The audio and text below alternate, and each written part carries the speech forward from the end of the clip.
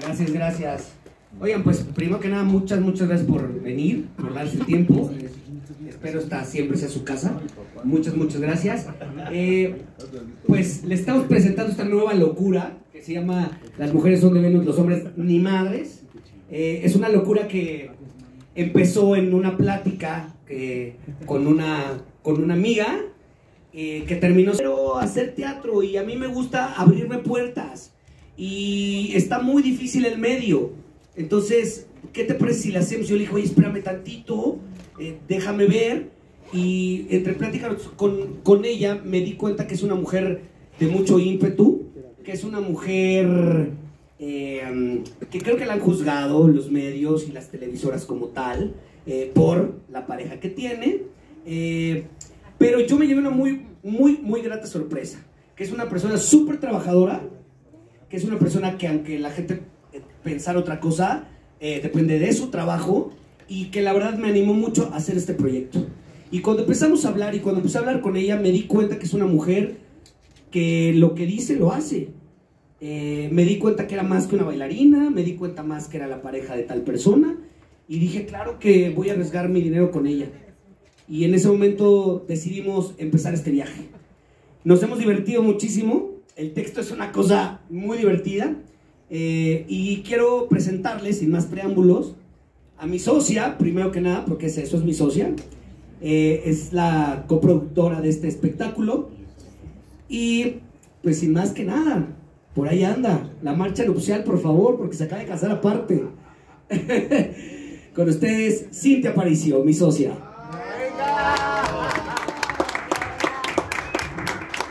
Hola, hola, ¿cómo están? Buenas tardes, gracias por estar aquí a mi socio, que empezamos esta aventura.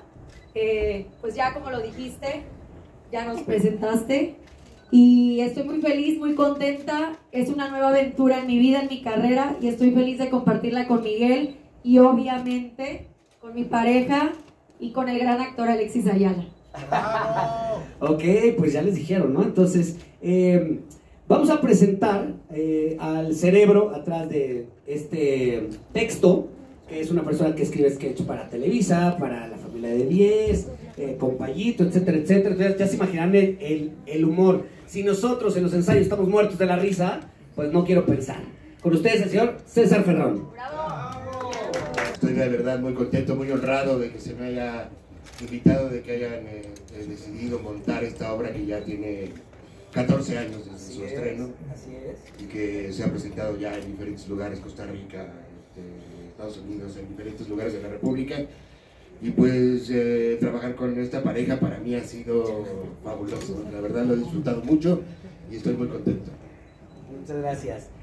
Para mí es un, es un honor que como un productor eh, joven, eh, nuevo, este tipo de figuras puedan voltear a verme y darme una oportunidad de, conducir este camino, me honra mucho.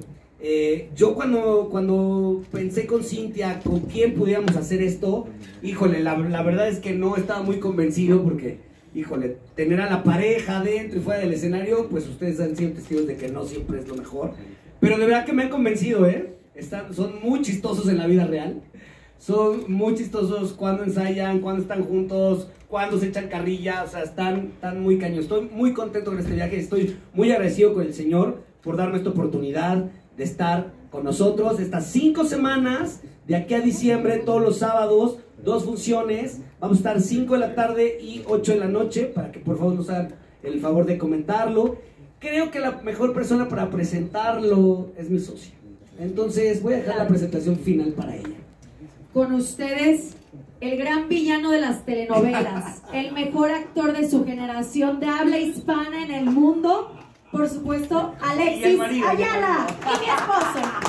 Oigan, obviamente me presentó mi esposa, me estoy grabando, ¿qué apachurrados? ¿Están contentos o no?